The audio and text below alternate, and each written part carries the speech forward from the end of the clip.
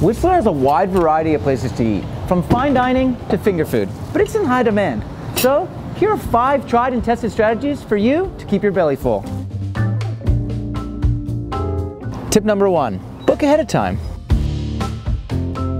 Things can get pretty busy here. Christmas, spring break, and Easter are some of the peak times you need to be aware of. But basically, if you're dining between 6 and 8, especially on the weekend, you're going to want to make a reservation.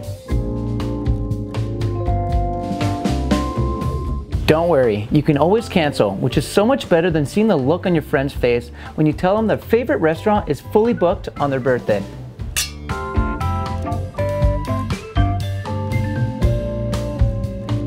When you're booking ahead of time, online reservations are the way to go.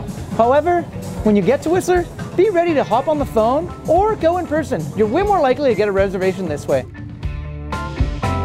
Tip number two, get creative with your timing. If you're winging it without a reservation, think outside the regular eating hours. Go earlier or later to get in front of or behind the crowds. Tip number three, explore new options. Whistler has side streets and off the beaten path nooks and neighborhoods. By casting your food net a little further, gives you so much more options for your palate. Tip number four, think outside the restaurant table.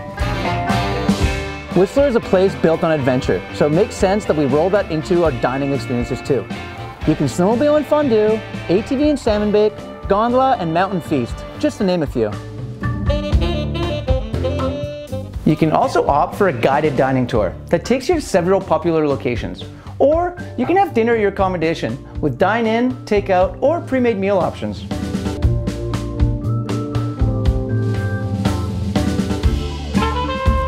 Tip number five, be a classy and kind diner. If you're running late, call the restaurant and let them know. Don't no-show, that's just rude. And don't get frustrated with your hostess. They're trying to get you seated just as badly as you want to eat, but they can't magically make a table appear out of thin air.